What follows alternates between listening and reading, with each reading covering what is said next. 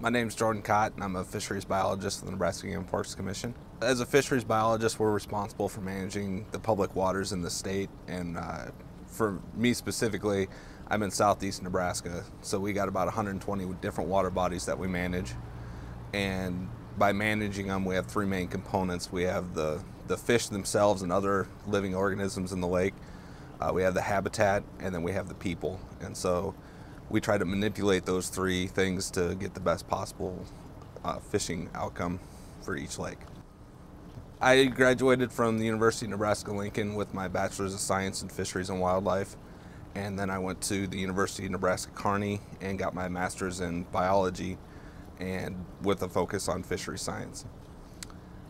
My first job was actually with the Game and Parks Commission after my first year of college, helping uh, do kids fishing clinics where we'd basically take kids out and uh, give them poles and bait and let them go fishing for the afternoon.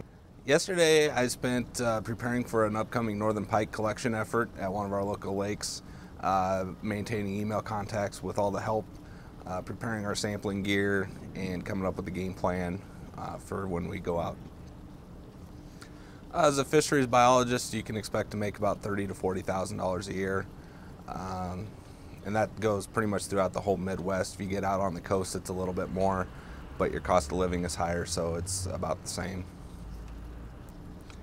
Uh, volunteer is always a good good way. Um, we have a lot of job shadow students that come out in the spring and fall with us when we're doing our surveys out on the lakes, so that's another good way to get into the field and just kind of experience what it's like.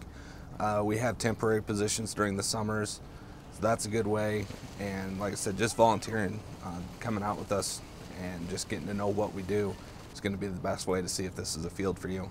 Get an idea of where you want to end up. So if you want to be a fisheries biologist, most universities are going to have a set of courses that'll direct you into the, the fisheries field. Or if you want to be a, in wildlife, they're going to have a set of courses that'll prepare you for that. Uh, same thing with education, um, those types of things. So you know, it's a lot of math and science, but uh, it's it's applied math and science. So it's not the just the boring stuff. It's it's actually applied, and it's pretty fun.